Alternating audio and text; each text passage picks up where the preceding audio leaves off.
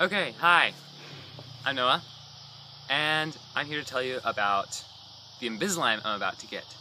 So, what happened first when I went into the dentist's office to get the scan, uh, she had me do some x-rays and stuff first, but then I sat down in the chair, and then she had like this machine with like, that ran on lights and stuff, who was like a light reflecting thing, and then she had me lay down, and she would put it inside my mouth, I'd make sure it captured all angles of the teeth. And you can see on the computer next to me was like creating this super detailed, like an animated model of my teeth. And it was like exact.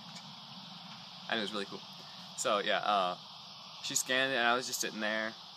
I mean, it didn't hurt at all.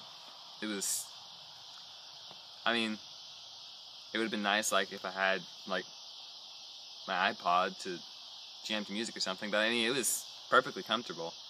And then she just had me get up, and then she said that we'd have them in a couple of weeks. And so yeah, and they said, uh, they'd actually have me do several sets so that they could slowly change my teeth. And they said what they did, this is really cool.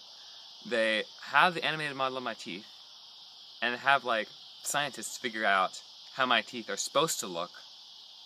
And they have sets of them slowly moving my teeth stage for stage. And so yeah, I'm excited to get to that. And so yeah, that's about the scan.